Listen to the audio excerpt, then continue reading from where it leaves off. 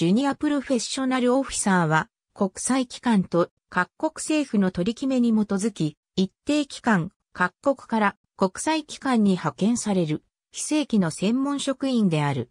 機関によっては、アソシエイトエキスパート、アソシエイト、プロフェッショナルオフィサーという名称を用いているものもある。正規の国際公務員を志望する若者に、国際機関での勤務の機会を与えることにより、国際公務員に必要とされる経験と知見を養うことを目的としている。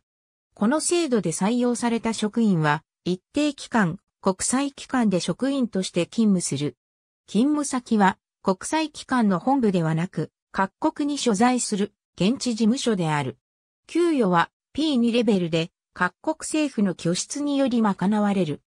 また、期間終了後、自動的に正規職員となることは保証されておらず、正規職員となるためには、通常と同様に各国際機関のポスト募集に応募し、採用されなければならない。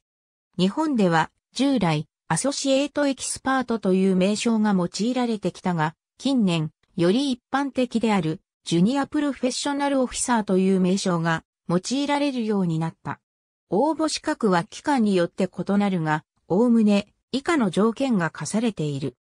日本については、国際機関への拠出金に比して、職員数が少ないことが問題とされており、JPO は日本人職員の増加を促進する役割を担ってきたとされてきた。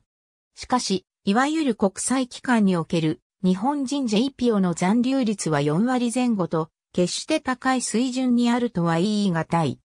限りある財源を効率よく使い、国際社会における日本のプレゼンスを高めるためにも、さらなる制度改善がなされる必要があり、去る行政刷新会議における仕分け作業の場においても、様々な角度から新たな論点、問題点が指摘されたところである。